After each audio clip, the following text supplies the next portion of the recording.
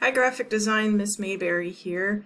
I just wanted to go over a few things about how the online classes are going to go starting on Monday, uh, March 30th.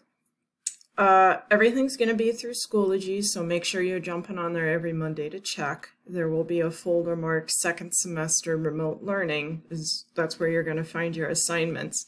Each assignment is in its own folder. There's going to be two up every Monday, and they'll be due Friday by 3 p.m.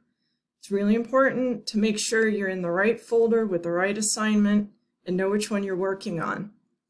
They're going to be turned in through either email or Schoology, mostly email.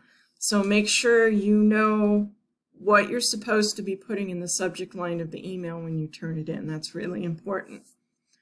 Uh, also, uh, unfortunately, we can't use Adobe products while remote learning, so we're going to be using Google Draw, Google Photo, and Google Slides. I will be doing video tutorials just like this one to show you how they work, and it will go like this. So you'll see me talking first, and then it will go to my screen, and here's where I'll show you how to use the programs we'll be doing.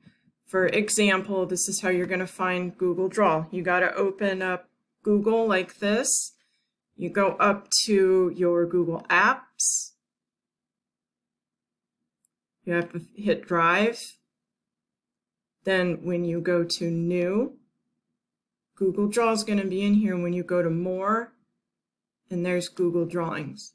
Once in there, I'll show you how to use this, how you're going to complete your assignments. It's not too hard, not too different from Illustrator or Photoshop. I'm not going to make them that complicated. Hopefully we'll be able to get our corporate identity packets done. Um, also, I'll be doing um, Google Hangout video conferencing. If you have any questions, that's really easy to do.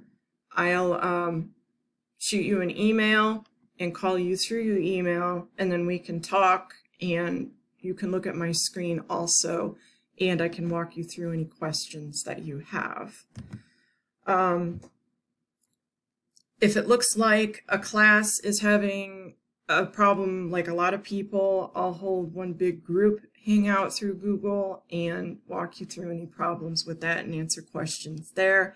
Those sessions will be recorded so you can go back and watch it later if you weren't able to join at that time.